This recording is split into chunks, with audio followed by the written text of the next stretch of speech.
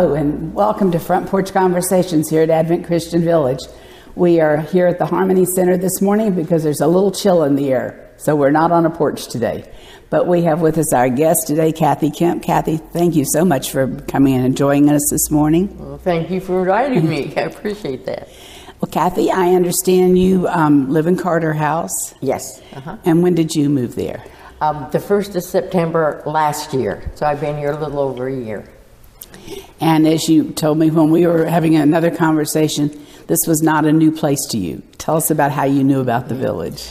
Well, I grew up in uh, Santa Clara, California, and we had an Advent Christian church there. And so, from just a little one, uh, you know, I knew about um, the denomination and all, and that's when I was saved when I was in uh, junior high. And uh, then I ended up going to Berkshire Christian College in Massachusetts. And so I've always heard about, back at that time, it was the Advent Christian Home. Mm-hmm. And um, it has grown considerably. And uh, we always used to say, well, we'll probably end up at the home. and, um, and I did. Started at the AC Church in Santa Clara and then up at Berkshire and praying for a lot of the missionaries. And now I've met a lot of the missionaries face to face that I prayed for when I was little. Isn't that So, amazing? it is. That It's it's come full circle to be able to have that experience. Yes. And I think you have a lot of fellow alumni who live here as well from Berkshire. That's right. Several in our um, span of the four years are either pastors or missionaries and all. And uh, so we have quite a, a, a group down here. We try to get together for birthdays. And, uh, you know, it's nice. You're busy here if you choose to be, and sometimes it's hard to coordinate, but um, a lot of good fellowship. And it was good for me to be able to come and know people versus coming to a whole new place and not knowing anybody. And I believe you were a, college roommate with someone here. Yes, uh, Phyllis Rand and I, she's from northern Maine, Ashland. And of course, I was from California. And uh, my first roommate uh, was uh, somebody else, uh, Mary Bull, and she was from Presque Isle. And, um, and then Phyllis and I became good friends, and so we're college roommates. And then the Lord called both of us and another friend down um, to Pensacola uh, to teach. And so, so I, we've known each other for a whole bunch of years. Well, that's wonderful. Tell us a little bit about your early childhood. Well, I was the youngest of uh, three children. I have an older sister um, who lives in Maine, and her husband uh, was a pastor for a number of years, and uh, they live in Biddeford, uh, just south of Portland, Maine. And then my brother, who's about two and a half years older than I am, still lives in California. He's holding down the fort there. and then there's me. And um, used to joke about my brother took care of the Pacific coast, and my sister took care of the Atlantic, get my uh, geography straight. And then when I was in Pensacola, I said, Well, I take care of the Gulf of Mexico. So we had everything covered. And they still are living in those places. You know, so. When um, you finished college, that's when you came to Pensacola. Yes. Tell us about what you thought. Was that your first trip to the South? Yes, had I'm a native Californian. Now it's hard to claim it today. It's a little different than when I was growing up. Um, and uh, I student taught in New England in Lenox, Massachusetts, and there, and I loved it. It's the first time in my years that actually I had four seasons. Um, and so I loved every season, and I really thought I want um, to teach up there. Well, the Lord had uh, Dr. Horton, who is the uh, founder and president of Pensacola Christian School, and he came up to interview for for teachers, and um, uh, our instructors we had at that time were uh, Dr. Eugene Merrill and his wife, and um, Gene was grew up in the AC denomination too, and they were at their college, and uh, so she invited Dr. Horton up, and so we interviewed, and uh, he gave us contracts and all, and I thought, oh Lord, I don't think Florida is for me, and so I just prayed really hard, and we only had a short amount of time to uh, make a decision. And so I had kind of put a police out and said, Lord, if you want me to stay in New England, I need something right now. well, I didn't get it. So I signed. I thought, okay, Lord, you want me in Florida? That's fine. And a few days after I'd signed, I got an offer from a school in the, up in New England. Mm-hmm. And I just thought, nope, too late. and so it was an adventure coming south. Uh, um, rented a car and found out at that time I didn't realize when I went to actually get it, they said, You're, too, you're not old enough. And we thought, what are we going to do? But fortunately, uh, one of the uh, parents was there, so they signed for mm-hmm. us. And so we trekked on down to Pensacola. And the weekend we came was when Hurricane Camille hit the Gulf Coast. One of the worst hurricanes yes. by that time. Yes, and I thought, this is Florida. Give me California. We only have earthquakes. but um, so then I uh, stayed there for a good many years and loved the ministry, you know. And you taught, what did you teach? Well, I started out in second grade. I wanted to make sure they didn't know more than me. So, and then I uh, went up several times, different grades. After 22 years, beginning of the last few years, I taught in high school. I was a government economics teacher. I was also the cheerleading sponsor, which was really a hoot. Um, and then um, in the college as well, did uh-huh. method courses in the college, and also had student teachers. And loved the ministry. It's fantastic. And then you went on to a number of other places in um, ministry. Um, yeah, the Lord called me up to uh, Charlotte, North Carolina, and uh, and it kind of uh, made me realize because I taught a lot of different grades. I taught second grade, then I moved to fourth grade, and then sixth grade. So, and I'm, you know, at that time, so I had a whole bunch of first years. But then when um, I was interviewing, and then I interviewed at a Waffle House in Pensacola, and they wanted to be the elementary principal.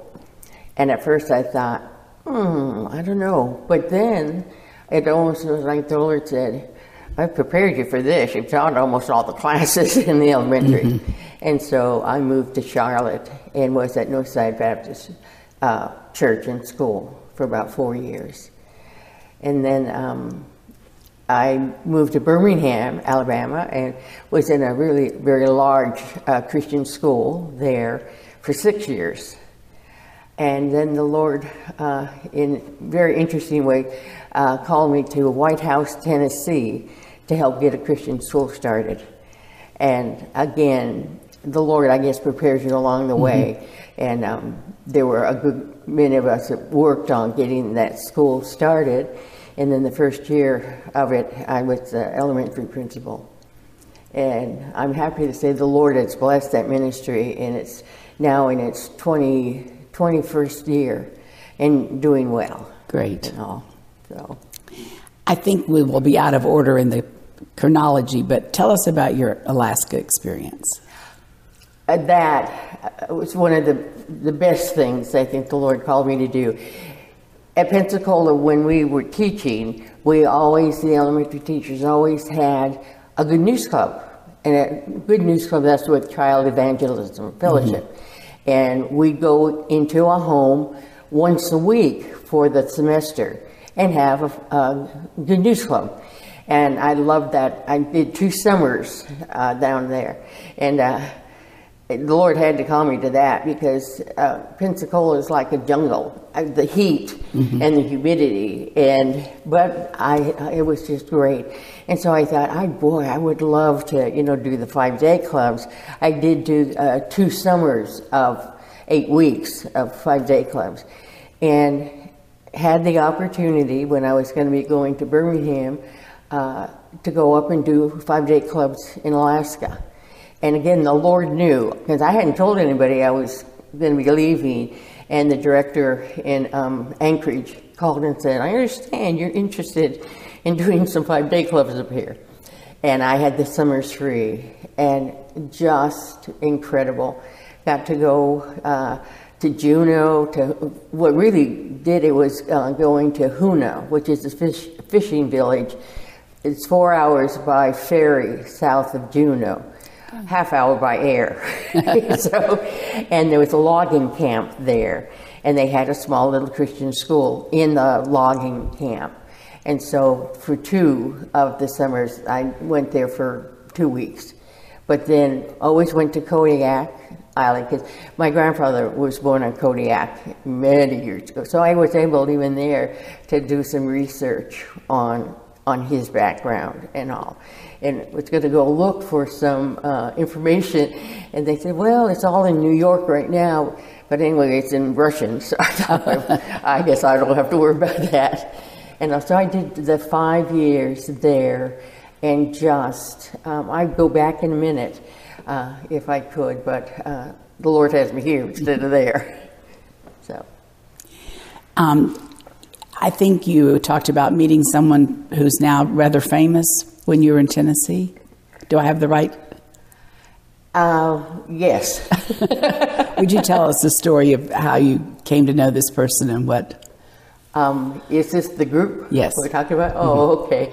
Um, I went with um, ACE, which is Accelerated Christian Education, and I was a homeschool advisor. And we had different states, and I happened to have the state of New Jersey. And um, again, this was back on 20, uh, no, uh, 20, in the uh, late 90s. And um, ended up having uh, uh, some siblings, three brothers. Um, they had a, a, younger one too, but uh, the Jonas brothers were my my kids, and um, just had a wonderful uh, time with them. And they loved the Lord, and they did a lot. They were younger, and the it was the teeny boppers mm-hmm. that really, really loved them, and um, uh, they were, you know, a good role model back at that time because they um, you know, about being abstaining from, you know, uh, sex and stuff. Mm-hmm. And they would do concerts in uh, schools, public schools, and all. And but then they really went on to be very famous and all. And, and they they broke for a while, but they're back now. And of course, it's I think it's still they're popular, but it's probably the ones that were the the tweenies that are now older, mm-hmm. and they still still like them, you know. So, but uh, and on the other side of that, I also met Norman Rockwell when I was in Lenox. Oh, really? and I got to meet him and be in his studio. So, a broad range, I guess you yes. say. but you actually got to be on the stage at a rock concert. You said. Yes. Joe was the middle uh, Jonas brother, and he was uh, had finished and uh, they were going to be in a concert in Atlanta. And I told Denise, her his mom, I said, you know, I can go down there and bring a cap and gown and mm-hmm. present and all like that. She said, oh, that'd be great. So did go down, but then it kind of changed because uh, when I got there, they said, you know, we've decided to present it to him in the middle of the concert. And there were about 20,000 kids there, and I thought, I thought, oh, okay. and so we did, and it was it was really dear and sweet. But right after it, Denise said, "Well, get ready, you're going to be on YouTube." And I said, "Oh no, no, no." She said, "Oh yes, yes, yes." and so that was it. Was really, and it was a complete surprise to him. They had no idea. But it's wonderful that you maintain that special relationship all that yeah, time. Yeah, and that's another thing with um, being an academic advisor for homeschoolers, and you have a lot of interaction with the parents. And this still, after um, many, many years, I still have contact with a good many of the families, and uh, I think the Lord put you together, uh, in you know, like that. Absolutely. Yeah. Well, guess what? You're going to be on YouTube again as a part of this front oh, porch really? conversation. Oh, yes. oh okay. Boy, it will really be different. no screaming fans in the background or no, anything. No. Matter of fact, the first concert that I went to, Denise had uh, somebody come out. We were in the Ryman Auditorium in Nashville, mm-hmm. which started out as a church way going oh, back, you know. And uh, she sent out earplugs. She said, "You're going to need these," and so, but oh yeah.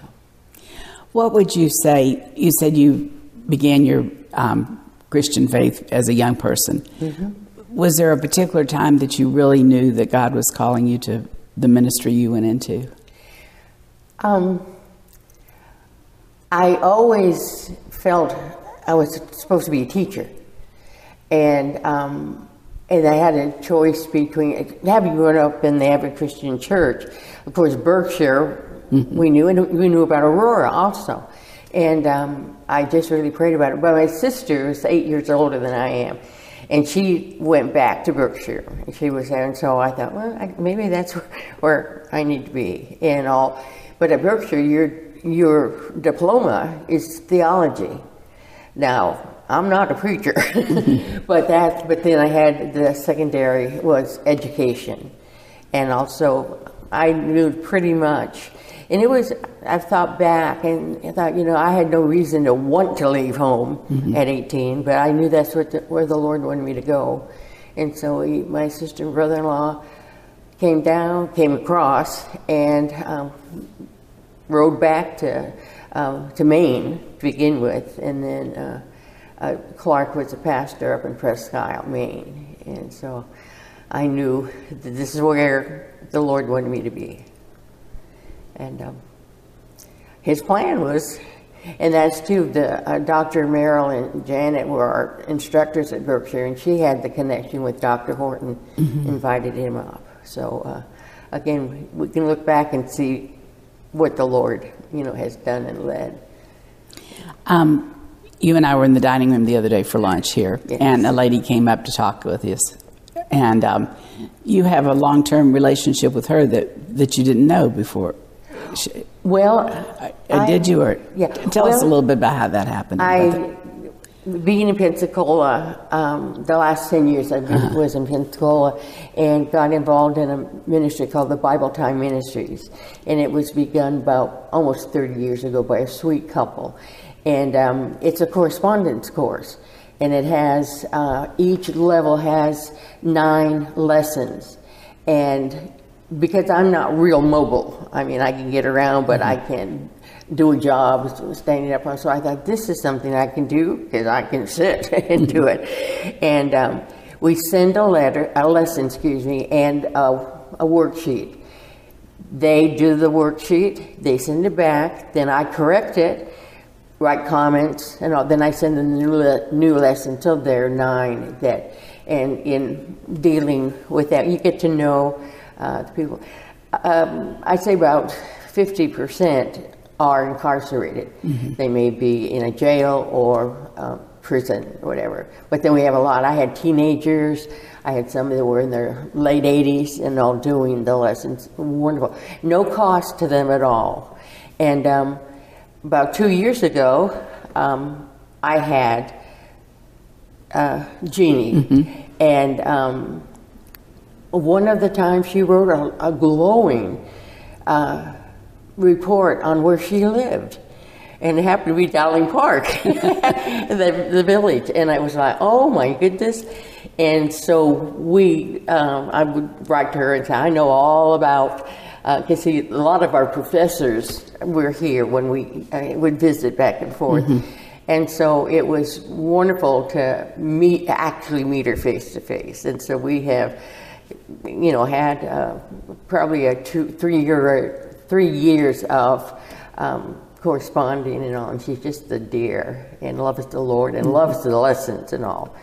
And um, so, so you never know when you're going to meet somebody that has been brought to you by together. yes, By and, God's leading. You know, there's been kind of a joke with some of my friends and some evangelists that, oh, that wherever you go, you meet somebody, you know somebody. Mm-hmm. And so we have an ongoing, because sometimes I'll be someplace. One time I was up on a mountain at a, a mother daughter banquet, and I told my friend, I said, I think they know that girl coming in the door. She said, We were up on a mountain. You don't know her. Pretty soon she came over to me and said, Miss Kemp, what are you doing here? I had taught her in college. And I said, What are you doing here? And it was her brother in law's church. So uh, you do all, all around. Uh, you know, our Christian circle is big, but it's also small. And so, yeah. When, um, when you actually decided to come to the village, how, what was what did you expect and what surprised you? Well, I've known about the village and uh, know several people here and all. And we would, and a couple of my friends came two and three years ago. And so I, you know, I knew what it was, but um, it just is neat to meet all kinds of people. And I'm in Carter House, and so there's just some great friendships that you make. And, you know, that bond in the Lord, uh, you know, is important too. And, but, you know, but there are some people that uh, don't know the Lord too. But then that is, in a sense, it's uh, your mission field is right here, and also. Um, but I love the fact of, uh, you know, new people and fellowshipping and all. The one thing that's a little hard is it's 17 miles from town.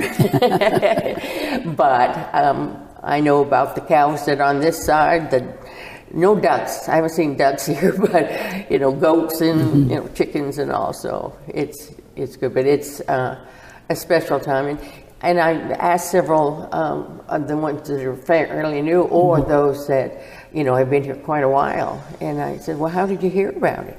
And some of them said, "Well, it was over the internet." Uh, but then some say, "Oh, what? I live in lived in Live Oak." and so you know but uh, i love it it's you know and it was time for me to come some of my friends said it was past time you need to get here sooner but uh, it's been a it really a joy to be here I I know your um, ministry is important to you, but what other things do you enjoy doing? Well, I love to travel, but that is, I don't do a lot of it now. Um, I do love to read, and um, and the Lord has given me uh, a special uh, thing about really praying for other people.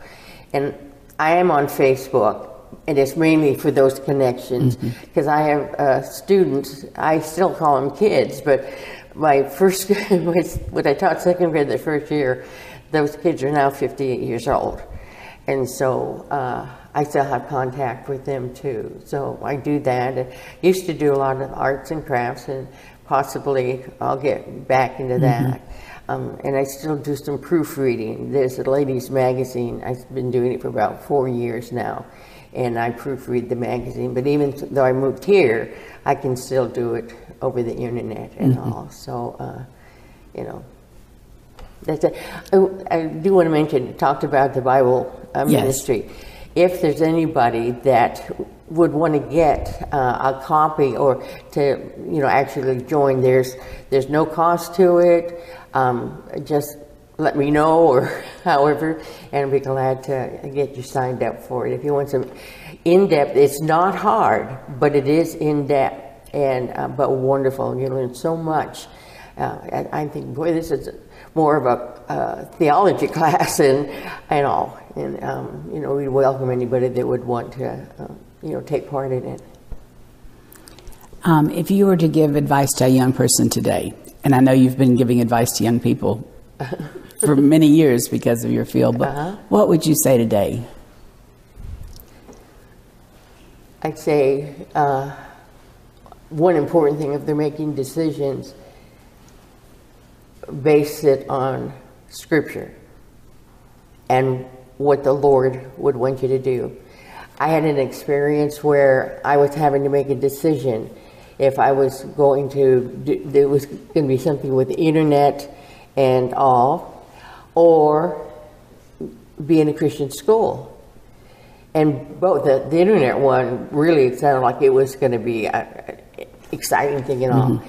And I had to go off the side of the road and stop because I was listening to something and it said on on the radio and it said, if you have to make a choice, what's going to honor the Lord the most?